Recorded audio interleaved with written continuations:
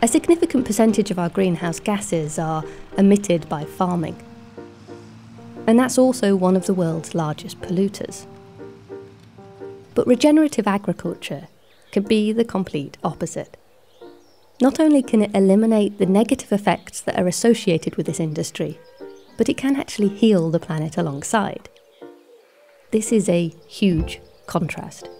And it's possible because the regenerative approach tips everything that we do in conventional farming right on its head. Our modern agriculture has become driven by a mindset of control and prescriptive inputs. We almost treat plant growth as though it was some mechanical process in a factory. We separate each part of the production for efficiency. And when a problem occurs, we then treat the symptom in isolation.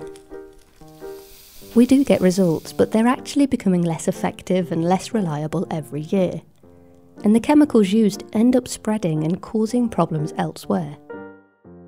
The regenerative mindset can see why this is failing us.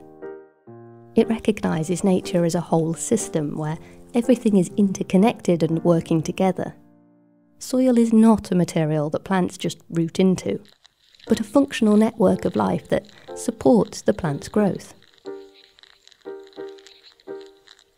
When a variety of species all live together, an ecosystem can gain resilience. And every creature from tiny to large plays a role within keeping it all productive. Farming with the principles of nature means that we can replace toxic inputs with functional soil and biodiversity. It can offer us abundant supplies from only sunshine and rainfall. It's all a very extensive topic, and I had the pleasure of learning more about how this all works, why it's significant to many areas of our lives, and why perhaps the biggest challenge moving forward is to make a switch towards a more holistic mindset. I discussed all of this and more in an interview with Caroline Grindrod. Caroline has a wealth of knowledge that she practices and teaches through her various businesses.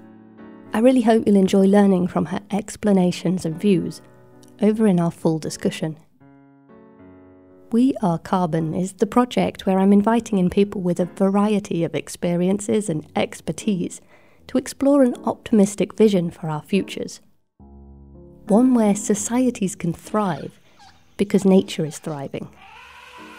Regenerative agriculture, how we treat our land and produce our food, is a major topic within this. We'll be learning a deeper understanding of why this works, along with many other subjects that link in and help us to gain a broader picture. You can find full details and follow along at wearecarbon.earth.